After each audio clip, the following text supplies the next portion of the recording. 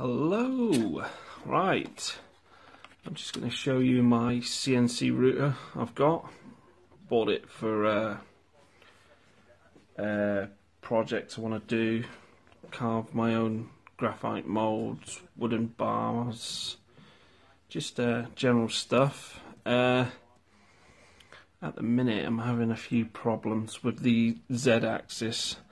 I've actually had this for over three weeks now. I've had no end of problems with it, so uh, the power supply that came with it didn't have enough uh, volts to power the machine up for a start, so it took me two two weeks just to figure that out.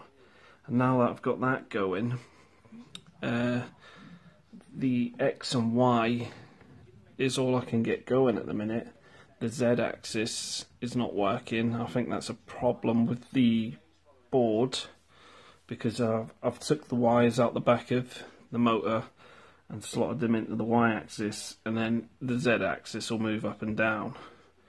But then the y-axis is not moving. It's grinding. It's making a grinding noise which is frustrating. I'm constantly trying to get in touch with uh, the supplier. I'm getting nowhere fast, so I'm going to have to wait a while. Uh, saying that, the laser itself, you only need the X and Y to do some stuff. Here's a little test I did, a little wolf. Uh, not too bad. I had a little play about with a photo of I don't know if you can make that out, but that's actually my boy's face just from a photo. It's too small to get any detail out. This is actually only a micro machine, which uh, is ideal for what I need it for. Uh, I'll show you a few clips of it actually burning, and then I'll show you the end result of a bigger project I did. Not as good, but I will try again the same design on some better wood. This is sort of uh, cork board, so I think when it's burning, it's sort of bleeding slightly more than it would on a hardwood.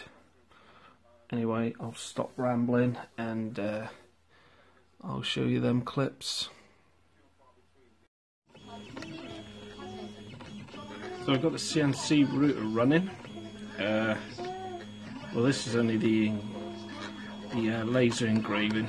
So you watch that for a minute and I'll show you the outcome. I'm not able to get the uh, the wood engraver going yet because one of the axes is broke. So I need to see what they're going to do to fix that. I'll leave this run, see how long it takes and I'll let you know in a bit.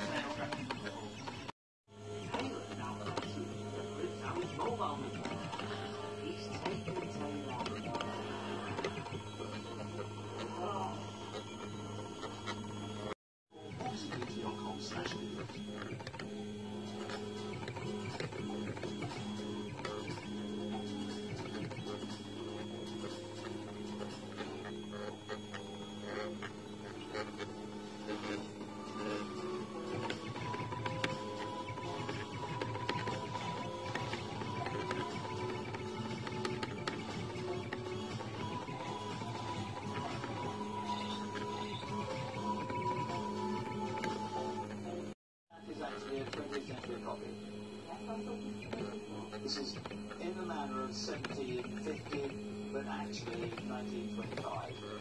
This is in only glass. And in this glass, of that form, with that stem, would be £2,500.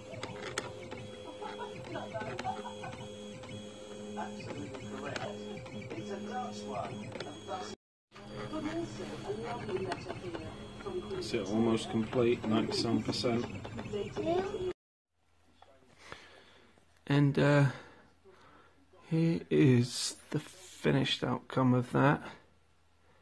I actually uh, did it on the back of uh, one of the coasters, which is uh, probably not the best wood. I, I have got some wood, but I want to try something a bit bigger. So that's about 8 centimeters across there and up.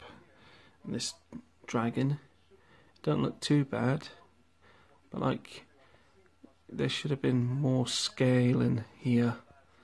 But as I said, I think the lasers bled into the wood, it's burnt more and it's sort of spread. Still looks good, but I will try that again one day. Anyway, I hope you enjoyed, and uh, when it's up and running, I'll be back uh, melting some silver and uh, trying my own moulds. Right, see you guys later.